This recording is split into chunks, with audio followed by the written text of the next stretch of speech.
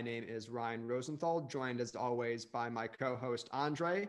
Uh, and today we are deeply honored to be joined by John Sipher. Uh, John spent 28 years in the CIA's National Clandestine Service, serving multiple overseas tours. He was chief of station, deputy chief of station in Europe and Asia. Uh, he was also lead instructor at the CIA's clandestine training school, so training future spies to be spies. Um, and since leaving the agency, John is co founder of Spycraft Entertainment, which provides content to the entertainment industry. They've done a lot of interesting work, and we'll touch on that at the end of today's conversation. Uh, and then John is also a non resident senior fellow at the Atlantic Council's Eurasia Center. Uh, and so, John, thank you so much for joining us today. We're really looking forward to today's conversation. I want to begin by talking about your CIA career. And, and uh, we've been very fortunate to have a lot of officers, former officers on the podcast. Each has their own unique story about kind of what drove them to join the agency. And so I'm curious, why did you do it? Why did you join the CIA? Yeah, interesting. So um, I grew up in a small town in upstate New York. My parents were teachers. And so I was always interested in history, politics, international affairs type of stuff, if you want. Um, and then I, you know, I studied history in college, and I went off to graduate school and did international affairs. And and uh, while I was doing that, I did an internship at State Department at INR, the Intelligence and Research Branch of uh, of State, and to try to get us my sort of first taste of Washington and those kind of things. And you know, as a young person coming out of graduate school, I was looking at a variety of options in Washington, uh, CIA among them, and uh, and when I was in graduate school, I, I ended up applying to CIA, and actually I applied to be an analyst. And so, as you know, CIA has several sort of big tribes. It has, you know, a science and technology tribe, but a big analytic cadre of people who mostly stay in Washington are experts on all sorts of things, military and political and economic, as well as its overseas, the clandestine service, the sort of operational espionage side of the organization. So I came in actually to be an analyst, thinking I would maybe work for a few years and then leave and go get a PhD or something like that. And um, actually, when I went in, I ended up, uh, you know, learning much more, learning about what the clandestine service did. Back then, they were a little goosey when you were interviewing about actually telling you what the spy side of the house did. And so I was I was a little hesitant to jump jump in with both feet. But once I came in and was going through this sort of CIA 101 course, if you will, and, and learned about the thing, I became more interested in, in, in a career where I would would go overseas and luckily i when you come into the agency you go through all this battery of tests and psychological tests and all kinds of craziness and uh, you know i guess my uh, sort of overview thing said i could work in the, in either side. And so i was able to switch over. So i never actually worked in the analytics side of the agency. Um, and so you know all of a sudden 30 years later and you're getting ready to retire. So you know you're sort of going from one issue to the next one place to the next sort of one challenge to the next. And it was a really rewarding and, and fun career. John, it's A'ndre here. Uh, as Ryan mentioned, you were chief of station several times, I believe. Mm-hmm. And I think many of our listeners have heard of the chief of station role. We've talked about it at times on the podcast, but I'm not sure too many of our listeners actually know what a chief of station does. So, can you sort of tell us what that individual is in charge of, what they're responsible for? Sure, and there's there's there's all sorts of different versions of it because in some places you know, the CIA might only have one person in country, and that person's the chief of station, but they're the a one man show or one woman show. And in other places, you know, the CIA, you can imagine in war zones and stuff, has a large contingent of people, administrative, paramilitary, espionage, administrative people, and chief of station is sort of in charge of, you know, managing and leading, you know, a much larger group. But in general, you think of the ambassador as the president's representative to a country, in charge of all US government activity in a certain country. The chief of station is essentially the director of national intelligence, uh, you know, referent in, in a country. You're in charge of all intelligence related issues. And so, in and not just for the CIA, if the De- Defense Department or if the FBI is operating there or, or other people are doing some version of intelligence work, it's sort of under the auspices of the chief of station. So the chief of station's you know basic job is a sort of management and leadership job. It's to make sure your cadre of people are safe, fully functioning, focused on on the issues they need to be focused on. You're you're communicating and coordinating with Washington all of the the issues and uh, activities that, that are taking place in, in that country. Uh, you are maintaining that liaison with the ambassador to make sure that the ambassador is fully aware of what the intelligence community is up to in country and is not going to be surprised by things that might come up. So it's a, it's it's it's essentially a management job, and and it you know it is making sure that you've structured your group to operate effectively, that you're keeping that that station running smoothly, that you're making sure the finances are are run tightly, and you're doing good work for the taxpayers, and and you're and you're collecting intelligence that is of use to policymakers. So, John, you mentioned the re- relationship with the ambassador and, and, liaising, and the ambassador is the, the chief U.S. official in country um, wherever you're serving. And so, does that relationship ever get a bit contentious? Because certainly the CIA and the IC, even DoD, will be engaging in some activities that may make the job of an ambassador or any you know di- diplomat in country very difficult. No, that, that's true, and, and there's been cases of that, obviously. And so, one of the jobs of the chief of station, and maybe you know one of the key jobs of the chief of station, is to make sure that relationship is one you know sort of of, of clear communication even if there's sort of disagreements, it's clear, you know, who has authorities for what, what scope of activity is going on. So yes, it's true. Sometimes ambassadors come. In fact, a lot of ambassadors don't have international affairs experience. They, you know, a lot of our ambassadors are career foreign service officers at State Department and have been in embassies around the world. Sometimes presidents will will put in ambassadors who, you know, might be academics or business people or or you know supporters of the, the president's campaign.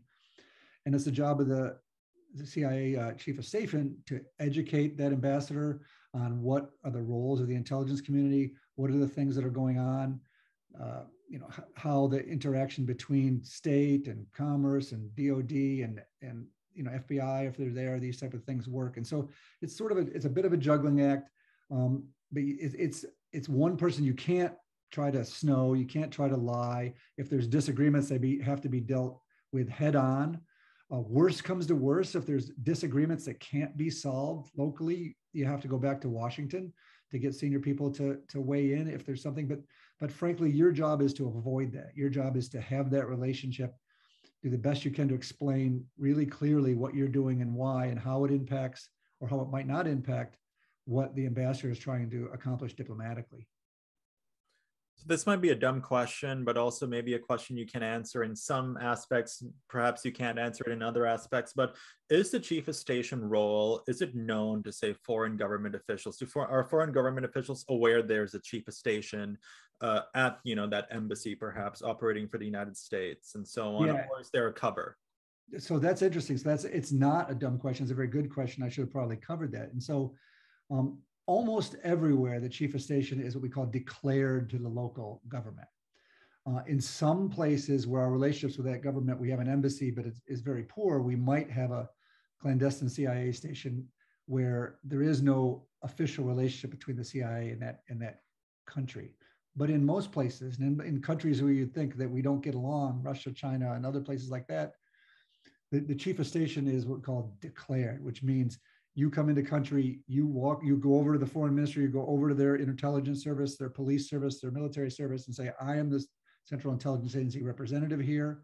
I want to work with you on areas of common interest and concern. Um, I'm going to share share information as, as as makes sense between our two countries. Um, and and so your job is is is a declared one. You are known now. You are still under some version of what you say cover. So your your neighbors and people on the street don't know you as the Central Intelligence representative. You don't want, you know, criminals and terrorists and your neighbors and people knowing what you're doing, but the, the, the officials in that government do. And so, it, you know, when you're a chief of station, you know, a large part of your job is that relationship also with the local service to, again, explain to them how you can actually be helpful to them and how they can actually be helpful to you. Um, and what's interesting, I don't think most people realize, but I would say a good 75% of the intelligence that the that the Central Intelligence Agency produces every year for policymakers comes from those relationships. So oftentimes in countries you don't think that we have very close relationships, there will be a tight intelligence relationship. So we might have a common interest in, you know, making sure on China or on terrorism, and we can actually, you know, help them because it, it serves our bigger interests and it serves their interests, even if we don't agree with them you know across the board on all sorts of political issues. So that's a very good question. Thanks for asking. It's a fascinating role because you have these intelligence uh, functions, but you also have essentially a, a, diplomatic function working with both allied and adversary uh, security services and governments. And so, I mean, I'm, I'm, I'm not sure where you've served, and I'm not going to ask where you've served, but I guess from your experiences with, you know, both yourself personally, but also colleagues, uh, is it harder to operate as the chief of station in, a in a friendly country um, where they'll probably be requesting a lot more of you and trying to balance that relationship? Or is it harder in an adversarial country when it's a, a contentious relationship? I mean, I can see both sides, but I'm just curious. Um, we tend to, is.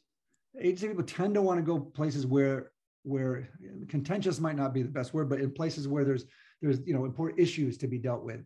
You know, going to to France or Germany or something. Yes, we do a lot with them. Where they're but it becomes a little more official, diplomatic, bureaucratic, if you will. There's less, you know, it takes more time to convince them of things that you know.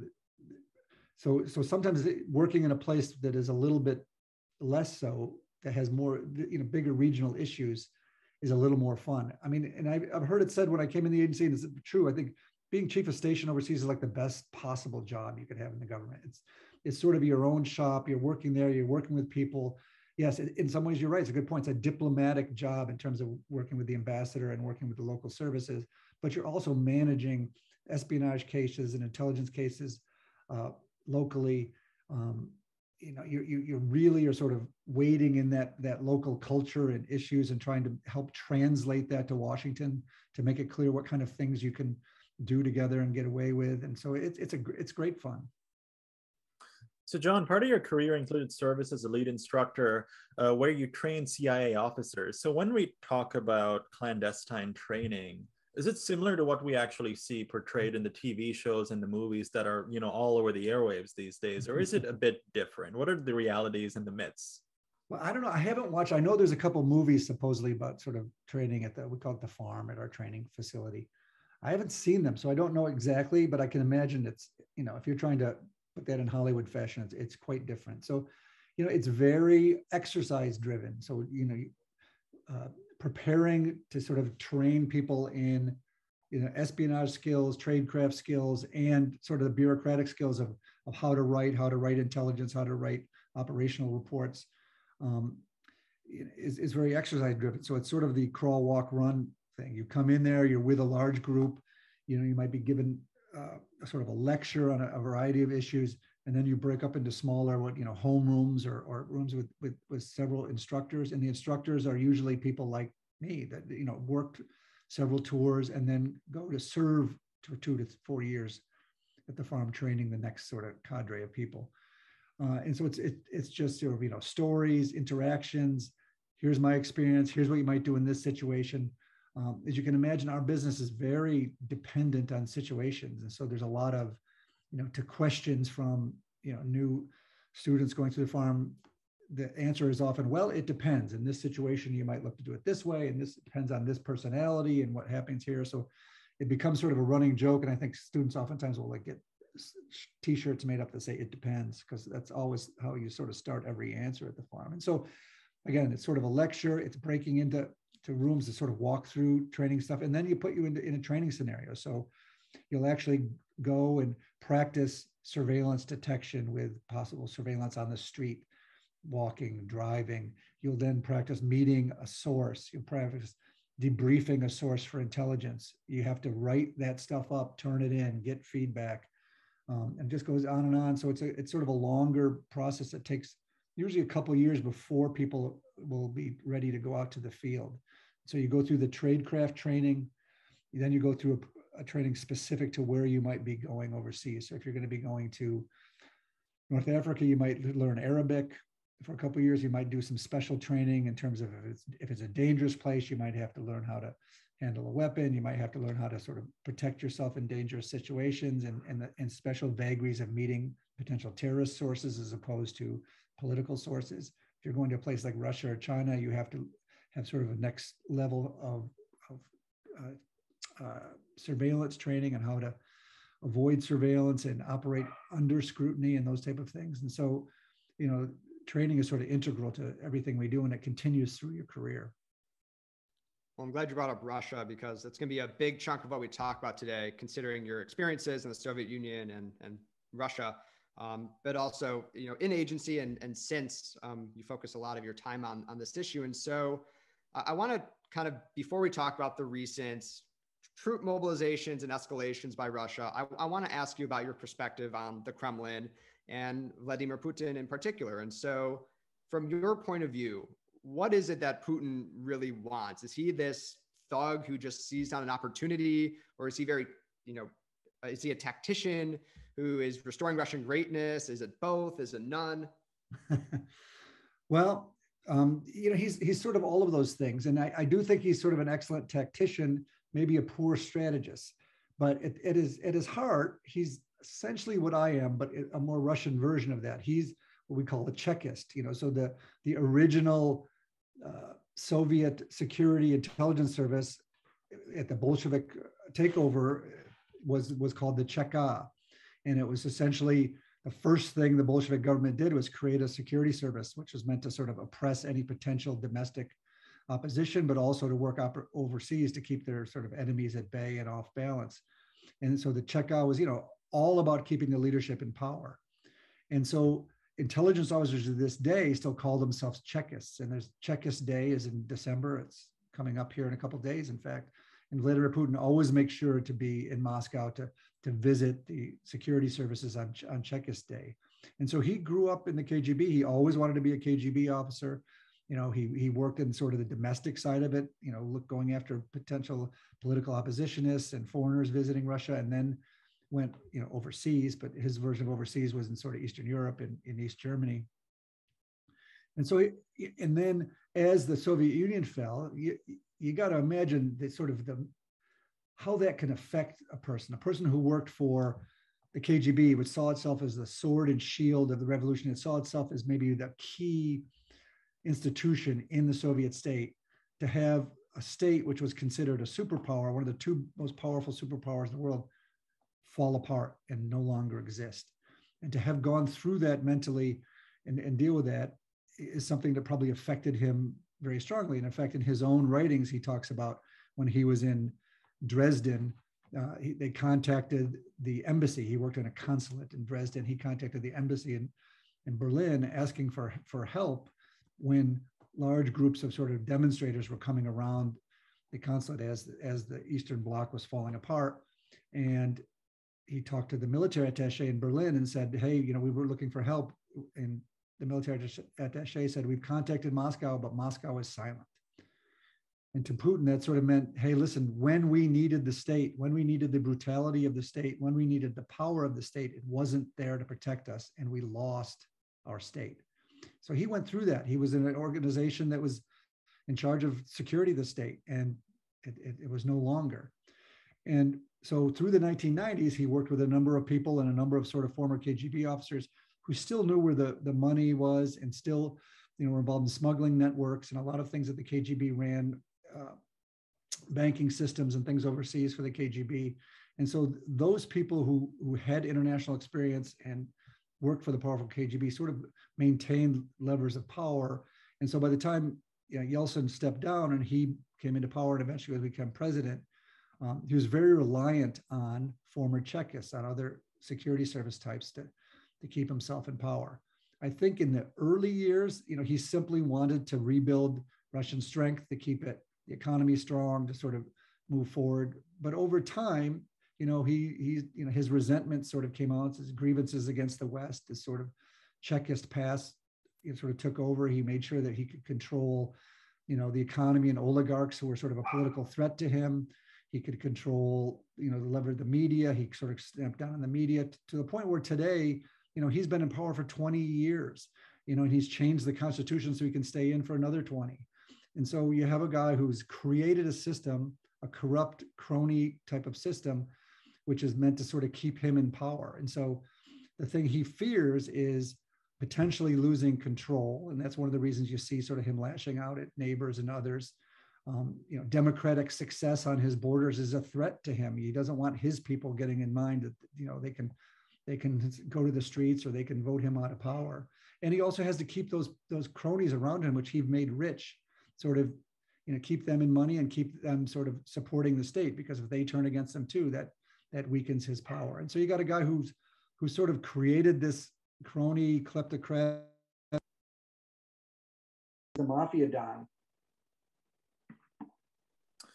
So in the US, what have we been getting wrong about Russia? So while I do agree that you know there is this crony corrupt system that Putin has sort of put in power in Russia, uh, and you know we've seen notable opposition in Russia, is it fair to say that Putin is still sort of fairly popular? Because I feel like from a class I took on Russia at, back in my undergrad days, uh, there was this propensity to sort of talk about Russians being in favor of strongman leaders such as Brezhnev, Putin, uh, and even back to the czars. So, I mean, is there some accuracy in saying that Putin is popular among the population?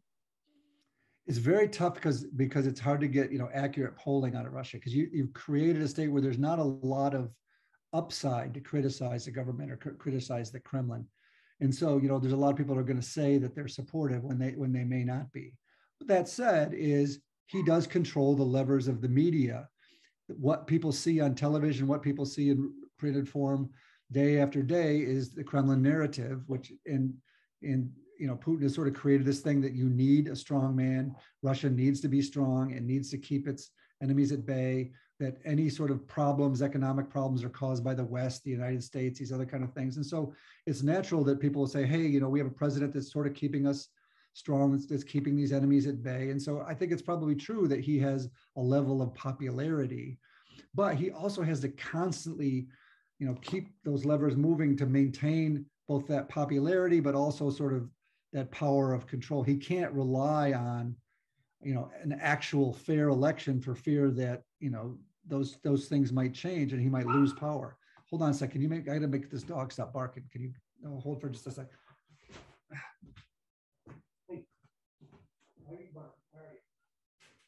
I'm noting on the time. I'm, I'm just doing a podcast and try to keep it from barking. All right. Well, there might be water or something there. Sorry. All good.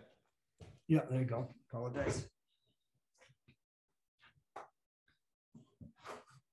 So back to question. Yeah, I, I mean, I think, you know, he's popular, but he's popular in a system that he's built uh, to keep himself popular. But you've seen also in, in, just in recent months and in the last year is he started to crack down more than even in the past couple of decades. And so any type of sort of free journalism or any type of groups that ha- seem to have an interest that are, aren't totally controlled by the Kremlin, you know, they find themselves in jail or beaten by the police or these other kind of issues. You know, groups like Memorial and these other things that are just trying to, to you know, even look at put history in, in the right form are seen as a threat to the Kremlin. So I think in the early days he had enough popularity and you know, had created the system where Russia was slowly improving and the economy was improving, that he could he could maintain control, keep his cronies happy, but also keep a sort of a level of normality. But that seems to be changing recently. And you can argue that some of the things we're seeing in Ukraine and other kinds of things are just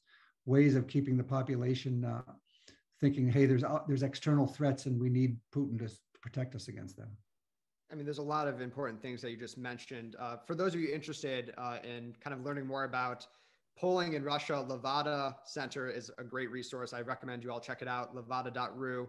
Um, but, but John, I mean, for me, I think the one of the greatest challenges in understanding Russia, and I think for people who may not be familiar with it, just don't see it as you know, it's, it's not a top down like Putin has all the power. You mentioned all these all these institutions he has to balance, from the security services to civil society to, I mean, all the kind of parties that are in place. Um, and so with that, we've seen this huge crackdown on civil society, particularly the attempt at Alexei Navalny's, Alexei Navalny's life. Uh, he's imprisoned. Um, is there any way in which civil society in Russia can maintain a continued pushback against the government, given the you know foreign agent laws and the arrests and arbitrary killings uh, what can the international community do and what can Russian civil society do to, to push back? Yeah, well, not a lot. Um, it, it is indeed true that he hasn't created a, sort of a Stalinist system, a classic dictator that controls everything and, and needs to. It's, it's more sort of a, of a balancing act. He has to keep his cronies who he keeps rich and sort of these warring clans around the top. He has to keep them happy. He has to have some version of of you know popularity amongst the people and give them a sense that you know he's moving the country in the right way that he's helping to keep them safe that that you know the economy is sort of better over time and so there's sort of this constant balancing act but what happens when anything that threatens that he has this, this sort of clamp down and and increasingly over recent years that that clamp down part is getting tougher and tougher you know you can make a good example with Navalny so you have a guy here who had was sort of a opposition political figure, if you will. He was going to run for mayor, but of course they they didn't allow him to run for mayor. But he was doing these sort of YouTube, you know, anti-Kremlin sort of YouTube channel shows and was sort of big on social media. But he really didn't have political power. He, you know, he had some sort of following among young people, and um, but he still, you know, to the Kremlin's way of thinking, he was a potential threat, even though you know, if you looked at it sensibly, he wasn't a real threat. But so much so that they were actually willing to murder him. So they sent, you know, you know, KGB military thugs around to follow him around and, and poison him, you know, hoping he would die. He didn't die. He was saved by flown at the last minute to Germany, where he was in the hospital and, and saved. And then, you know, he went back to Russia. And When he went back to Russia, he was immediately jailed. So in some ways, he's become a symbol, an anti-Kremlin symbol for you know, those in, in Russia who might want an, something new and different. And so in some ways, his crackdown has actually created bigger problems for him. And you can make the same argument with Ukraine. Ukraine was a country that was sort of in between the East and the West. You know, it had sort of pro-Russian elements, but it had pro-Western elements. And as his sort of chief, his uh, president that was put in power there in Ukraine, um, was starting to, to lose control and perhaps lose an election, he he clamped down. He sent troops and took over Crimea and the Donbass and eastern Ukraine. And so, in a sense, he's created a Ukraine who now sees Russia as an enemy and is much even more inclined to, to want to move towards the West or look for, you know, defense and help from, from the West. And so, you know, rather than sort of use the tools of of uh, you know working with other countries of trying to show a positive benefit to working with Russia and with the Kremlin. He's actually sort of created problems with Navalny, with Ukraine, with these other things, because that's sort of the, again that's the that's the Chekist instinct. It was George Kennan who said, you know, any neighbor of Russia either has to be, you know, essentially a, an a, enemy or a vassal, and if you're if you're not one, you're the other, and and you know, so he's essentially trying he's essentially trying to say that Ukraine needs to be in the Russian camp and needs to be a, a vassal of the Kremlin. So let's talk a bit more about the Ukraine. So, what do you make of Russia's recent troop buildup on Ukraine's borders? Uh, we've seen many analysts agree and disagree about whether Russia is actually going to invade. So, are they, do you think they're actually going to invade, or are they just posturing for security guarantees, or is it something else? Uh, I don't know the answer to that. And if I if I did, I would call the White House and tell them I know the answer to it. And so that's why there's some concern. And and frankly, I don't know if Putin knows the answer to it yet. You know, this is sort of we've seen a pattern of this, you know, through his whole presidency is sort of pushing boundaries and then seeing what what happens and seeing how far he can go. And so, you know, there's there's a pattern here of Russia creating a problem of being of taking an international action that creates a problem and then essentially asking for concessions from the West to solve that problem. And so um, he's in the spring, he moved troops up to the Ukrainian border. Uh, there was a lot of interest from the West and the United Nations, from NATO and the EU and, and, and the White House. And essentially, President Biden said, hey, let's meet in, in, in person, talk this through, you know, see what we can try to tamp down uh, potential, you know, threats here. And they, and they moved back from the border. So then, you know, fast forward six months, a much larger group of people coming to the border. Um, and you can argue, okay, this this is just a game to try to get concessions in the West. Every time we want to, when we don't think we're getting enough respect or people aren't paying enough attention, we can we can ramp this up, get them to some come running to us, and then you know hopefully even get concessions from them. You know, the, you can imagine the West saying, "Oh my goodness, we're worried about a war. It could spiral out of control you know putin just wants you know some some promises and some different things let's let's give them to him and so he's essentially you know, we call it escalate to de-escalate. He escalates the situation, hoping, asking for people to pay attention, give him some concessions to, for him to de-escalate. So he creates a problem that he can then act like he's solved the problem.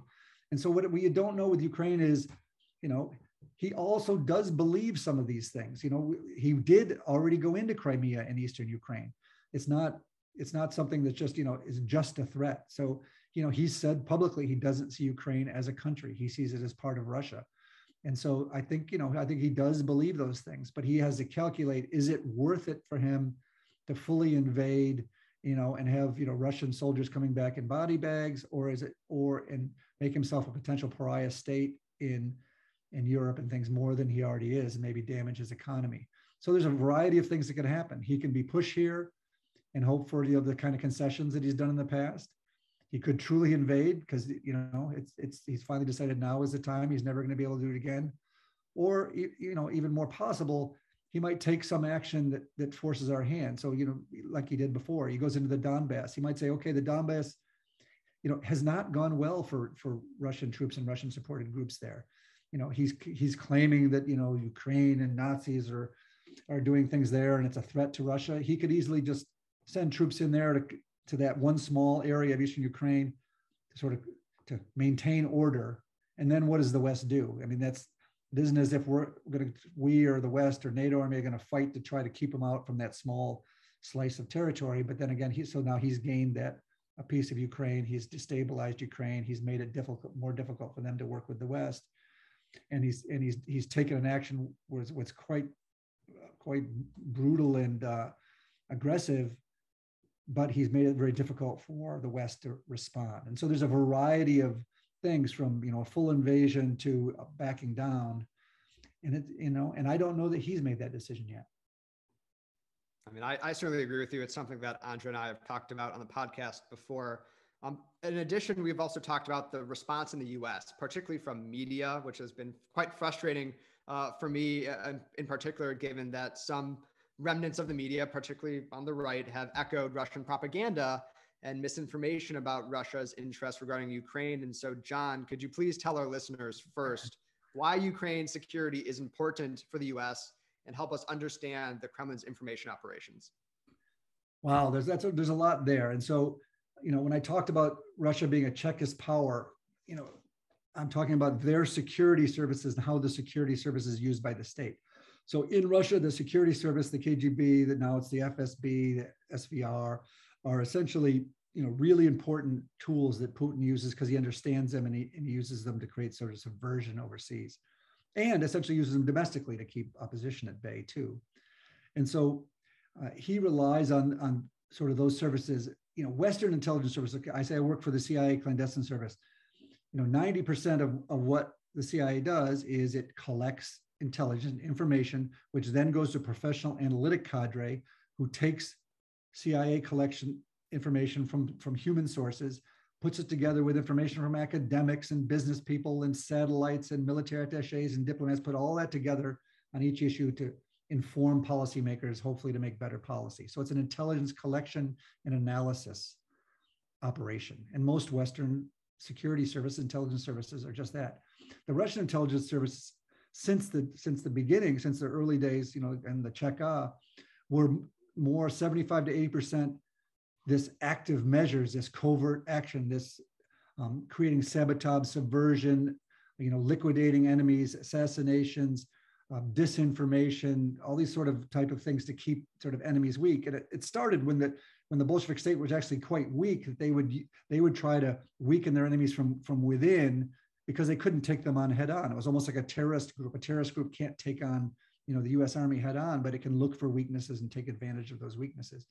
And that has become sort of the culture of the the, the Russian security services, and it is still to this day. We saw in 2016, messing with our elections, spreading disinformation, weaponizing social media, all these other kind of things. And so, why is Ukraine important? Probably, you know, aside from just Ukraine, the things we've been talking about, if you continue to give in to these activities where Russia creates a creates a threat and then asks for for concessions to solve the threat that they created, the more you continue to play that game, the further and further on he, he pushes. And so, you know, it's sort of in our interest at some point to push back and, and, and stop that. You know, Russia is really, a, at, at this stage, is sort of a revisionist power. Um, you know, they are losing the 21st century. You can argue that the Chinese are winning the 21st century. They're not, the Chinese aren't looking to sort of to, to disrupt and cause trouble in the international system because they rely on the international system. They, they want to own it and be rich and take advantage of the system that the West created of free trade and these other type of things. Whereas Russia, because it's losing, it needs essentially in their interest just to sort of cause havoc, to create chaos, create problems between the Europe and the United States and between European countries. And so they're looking to subvert the international order.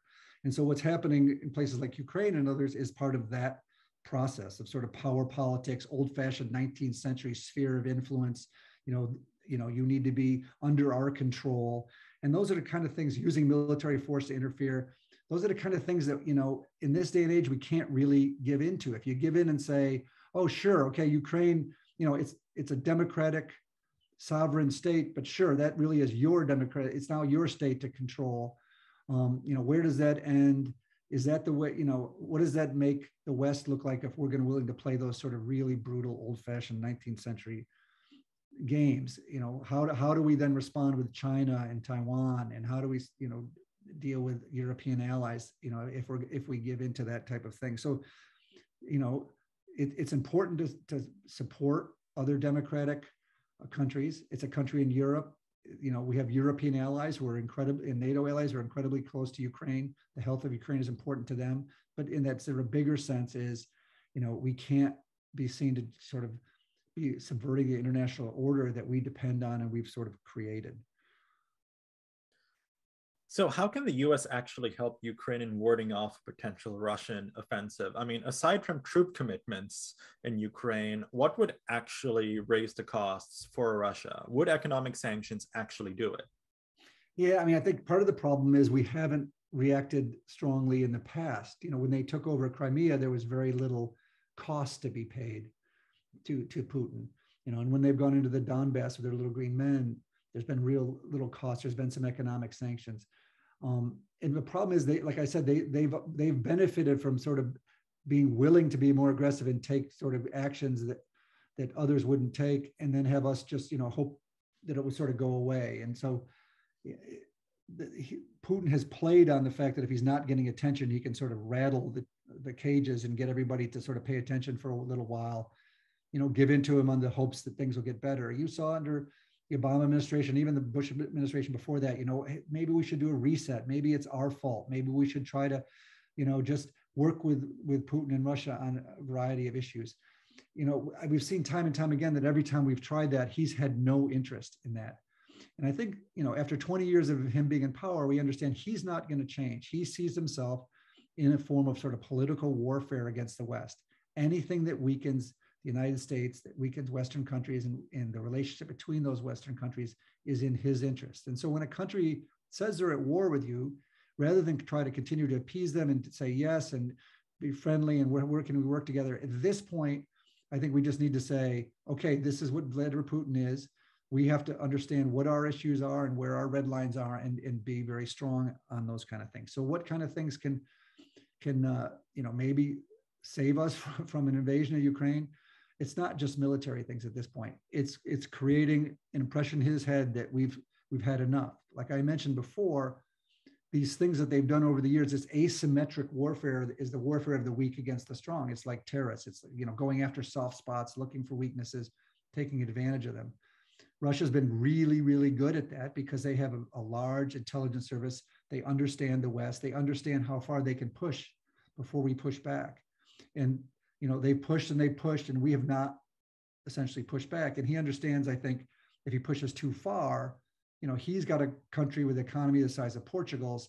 If the West, the United States, NATO, the EU truly see Russia as enemy and decide to put its forces and push back against Russia, he then is at a disadvantage that he can't control. And so I think he's very careful about pushing and pushing and trying to find a place where he where he pushes and gets his way, but without pushing too far. And so I think the answer is to make it clear to him that we've now think you've gone too far and we're willing to put those resources behind pushing back, which would mean treating Russia like a rogue state, which would mean like cutting off their use of Western banking and legal services, which would mean not allowing Russian uh, cultural and sporting teams and things to come to the West.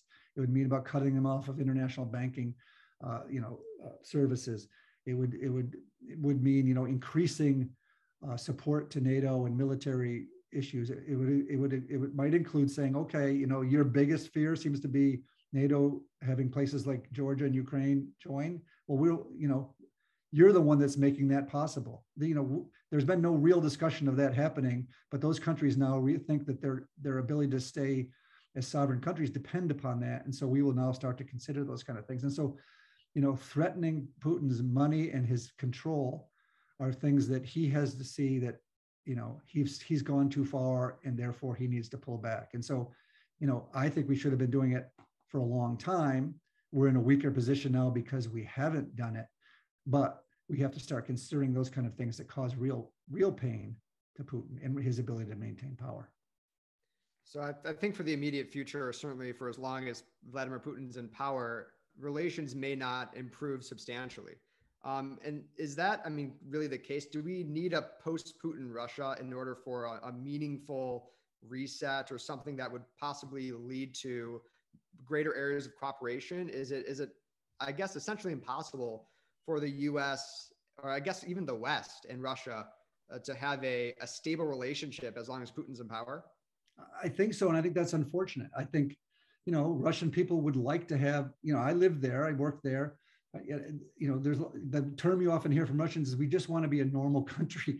You know, a lot of sort of Russians and and and you know the there's no people that has been worse served by leaders over the last 200 years than the Russian people. They've had you know incredibly brutal leaders, czars and others that saw them as fodder and and as sort of support and and so it's unfortunate for the for the, the Russian people. I think Putin has made it clear that he doesn't want better relations. You know, you say better better relations is important. Sure, it is, but it takes two to tango. And if one side has no interest, then I think what you do is you just have to create a, a sort of a system of of deterrence and and sort of where you know where the red lines are and you know cooperate where you need to cooperate and there are there you know we do cooperate with them you know like i said even the cia works with the security services in russia there are issues related to terrorism and iran and and instability on their borders that we we share information with them. We help them on on things. And you know they sometimes share information with us. It's not as robust and good as it should be. And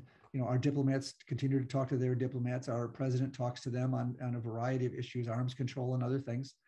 Um, but yeah, that relationship in a perfect world would be much more robust. It would be much better. We'd be talking about things to try to improve, you know, Russian economic situation, improve cooperation, trade, those kind of things. But they don't want that. They see us as an enemy, and they continue to attack us and subvert us. And and so I don't think Vladimir Putin's going to change.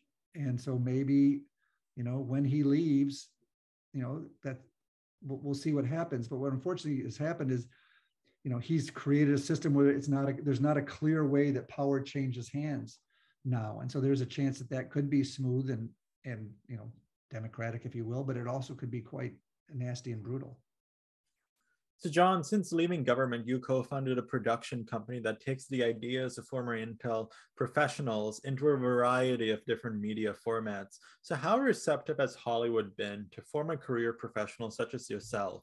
What's it like to actually translate these real life experiences into entertainment?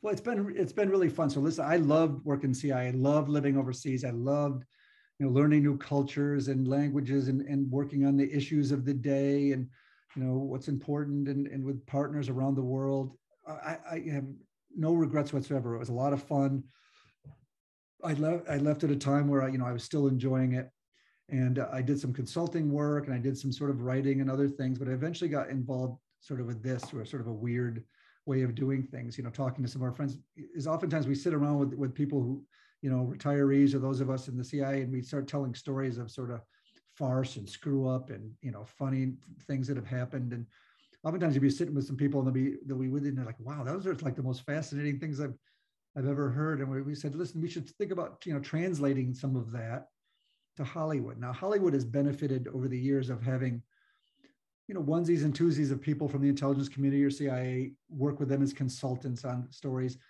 Sometimes they've been people who actually were, you know, yes, they worked, they might have worked for CIA, but they were, you know, sort of failed officers or they, you know, problems, but, you know, Hollywood didn't know.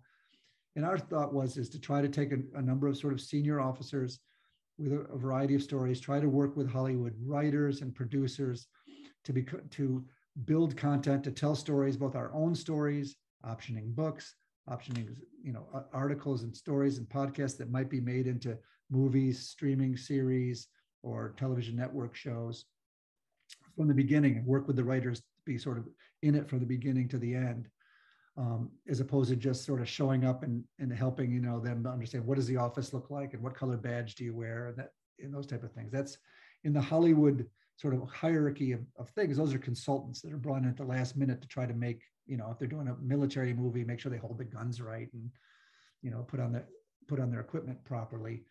What we want to do is sort of get inside get in sort of the creativity side on the content side and, and work with writers as they build shows and, and movies. And it's been it's been a lot it's been a lot of fun. And you know it's fun to do something different to work with creative people um, and sort of help translate our world you know to them and and and, and build stories that are both entertaining but also sort of realistic I'm curious what are like the gaps in TV and movies from real life because I imagine there are, certain things that may not translate well into film because a lot of a CIA officer's job yeah. is mundane and boring, boring right? Yeah, because you're you're trying to you know get around surveillance and that can be boring when it's done for two and a half hours and that's an entire movie. Yeah, that is indeed true, and and so you know what we're doing there, there's there's it's interesting because there's a there's a there's a, a long history of material, books, cases, espionage cases over the years that haven't been made into television shows. And, and you can think even in the last year of, of, movies that have come out. There's the movie on Penkovsky, The Courier. There's the Bridge of Spies. There's a variety of things that have come out. Those sh- that those cases, that information has been known for 70, 60, 70 years and has never been translated into a movie. There's countless stories, books that are out of print, espionage cases, you know, and things that that uh, have come up that can be used as sort of the basis to create shows. And you know, one of the things that first happened is we went out there and we'd start to meet with writers and producers and things. Is we would tell these sort of stories like we were CIA officers briefing people. You know, we were focused on you know impact and you know the farcicalness of the story and sort of all content.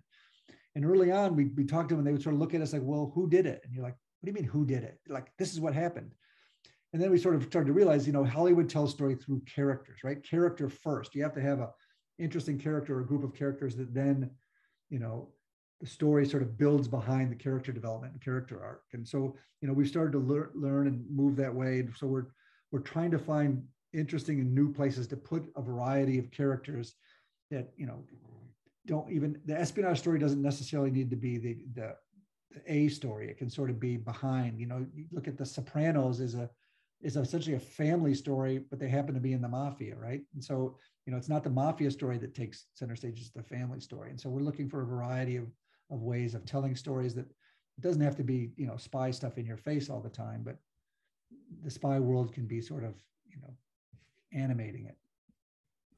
So, John, are there any projects in the works uh, that you'd be willing to preview for our listeners? well, one thing we've learned is Hollywood is incredibly slow and Hollywood is also going through quite a sort of a, a real change in the way they've done things. So the whole sort of history of how movies are put together and and you know back ends and things have been upended during COVID because movie theaters are going out. Streaming services are becoming much more prevalent. These sort of longer series instead of telling you know two hour sh- shows like you know there's fewer and fewer movies made, more and more streaming shows made network TV is sort of continues along at sort of at its pace. And so a lot of those, those shows aren't as interesting, but they they reach more eyeballs. So we're doing a variety of different things. It just takes a long time. And so, you know, we'll work with the writer, we'll build an idea, we'll build a show, we'll pitch that idea to a production company who might have relationships with buyers, with the Netflix, Hulu's, Amazon's, you know, Sony's, Paramounts of the world. And then work with them, write, write a script, and then pull together writers' rooms and start that process. So there's a number of things we've done. You know, we've actually signed things. We're working with with Apple and Netflix and, and ABC and a number of other shows, but nothing has actually been filmed yet.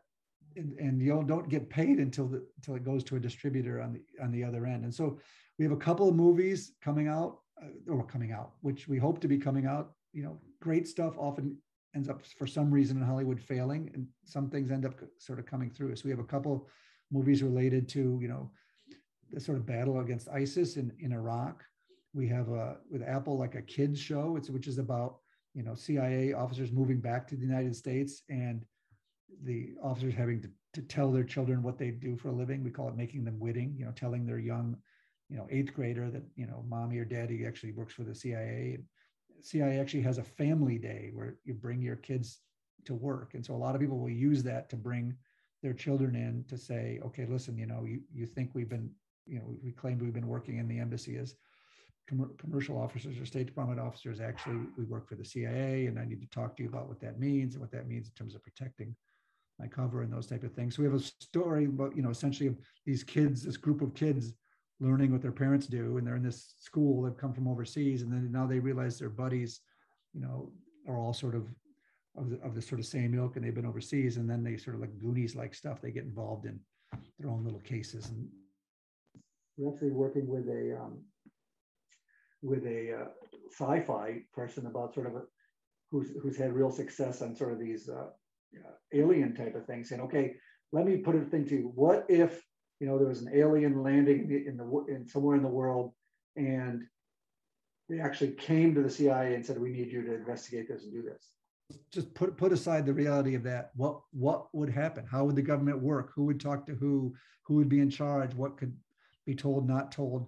You know what what things could could the agency use and not use? How would they work with foreign, you know, adversaries or or or uh, colleagues and things. And so we're, you know, we have one like like that. We have a show that takes place in Iceland, which is essentially, uh, which is a a place that there's actually nothing to steal. And so the CIA operating there, you know, sort of the conceit is, you know, CIA has to have some place to put its people who aren't really very good. And sticking them in Iceland's a good place. They can't cause too much trouble. There's not much to steal.